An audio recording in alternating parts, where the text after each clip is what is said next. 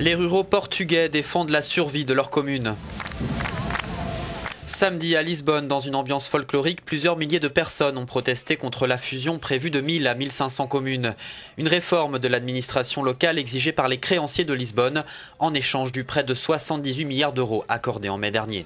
Le gouvernement de Passos Coelho a subi une défaite aujourd'hui et le pays fête sa victoire sur l'avenue de la liberté. Ces gens veulent la démocratie dans les territoires avec des élus qui répondent aux problèmes des électeurs et assument leurs responsabilités en vous regardant droit dans les yeux.